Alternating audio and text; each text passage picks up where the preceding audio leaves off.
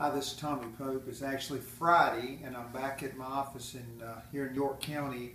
Uh, we were in Columbia at the beginning of the week. The House was to deal with the governor's budget vetoes, and then the Senate has taken them up in the last couple days. And uh, the reason I wanted to wait till today is to see what the Senate had done, so we can discuss it a little more fully.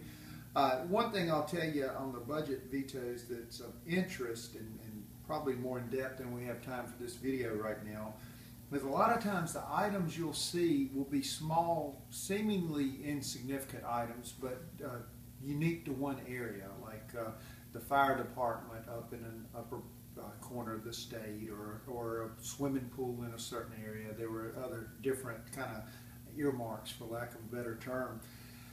The, the problem with those is that that may be the only thing that that area is actually getting in the budget. And so when Representative so-and-so comes and says this, you know, is the issue and he explains it to you or the, uh, the Future Farmers of America beach uh, place when the roof's caving in and this is the only way to fix it. What you don't see is a lot of other parts of the state are getting a lot of other money that you never see on these vetoes. And sometimes these small things are the only thing that that area gets. And so sometimes I think it is important, both for our community, if we ever had uh, such an item, and for the state, that these small areas are getting some assistance in that regard too. So oftentimes, not always, but oftentimes I would support those in the in trying to override the veto. I'll tell you going forward, we've got to come up with a way that fairly gives some money around the state. Quite candidly, what happens is the haves keep getting more, and you may not see that in the top part of the budget. Uh, the smaller areas don't get uh, a, a, a equitable or a fair share, and so I think that's something I've been kind of brainstorming on some ways to to maybe propose to address that going forward. Even if, if it was that each area, each House of Representatives area or each Senate area had X amount of dollars each one did that you could pool together to help perhaps on an infrastructure issue or a water line issue or something unique to our community. So it's not there yet. I'm certainly not on Ways and Means, but it's something I think going forward we need to look at. Another issue that came up this week is uh, in the budget was the uh, the House and Senate members getting a, a cost of living raise, or actually it was an in-district expense raise. I, I, voted against that. It passed the House. It ultimately did not pass in the Senate. But here's what I want to tell you, and again, several things that may uh, lead us to another talk for another day. But um, it was put in the budget by the Senate. It comes to the House in the budget, and we defeat it the first time. It's brought back up. It ends up passing. It goes to the Senate where they put it in, and they vote to not include it. So it, it was it's very strange. My concern in general, and the reason I voted against it, I don't like the way it came through.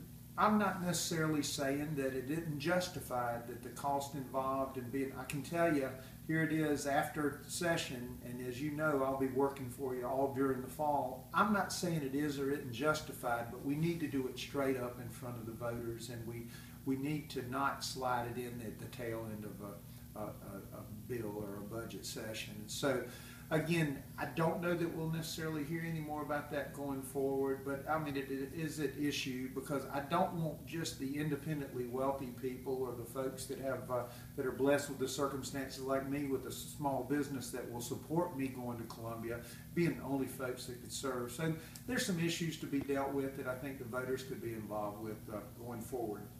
I'll also tell you, I've talked about this all year, uh, the ethics bill died in the Senate. It did not get passed yesterday. As you know, it's been about two years of work, two and a half years of work from a lot of people. It, it wasn't perfect.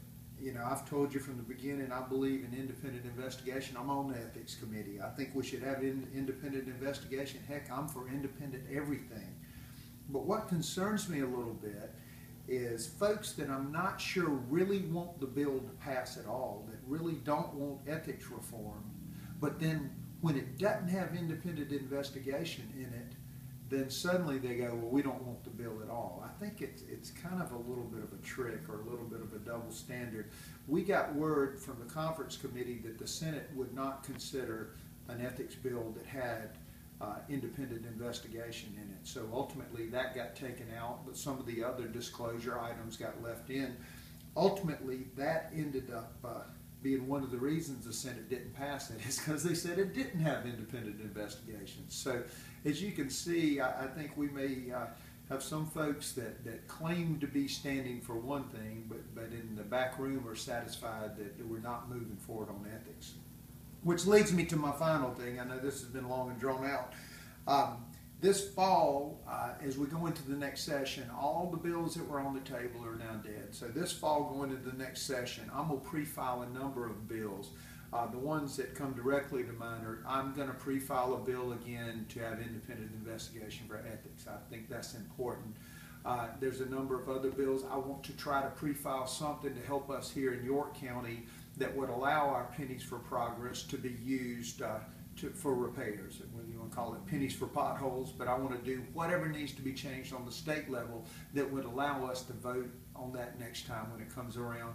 There's a number of other issues with infrastructure. There's a number of uh, uh, criminal matters that uh, did not get passed again that uh, that I hope to pre-file. But my point being with this as we go into the fall, and you can always get me at tommy at tommypope.com, as we go into the fall, if you have ideas, and many of you have already sent me some stuff, if you have ideas on bills you would like me to propose going into next session, then please send them to me. Uh, reach out to me, let me know um, if I can get it done. Uh, just because I propose it doesn't mean it happens, but it cannot happen if we don't put it in and try to get it done. So I'm back in uh, the area. I'm gonna take a couple weeks with my family, and uh, and then I'm, I'm back home, back working here at Elrod Pope, and uh, back in the district working for you. Uh, if you need me, Tommy at TommyPope.com. It's been a long, strange two years. This last two years with the ethics and all the things going on. Um, it's an honor for me to serve you, and I'm gonna keep working hard for you. Thanks a lot.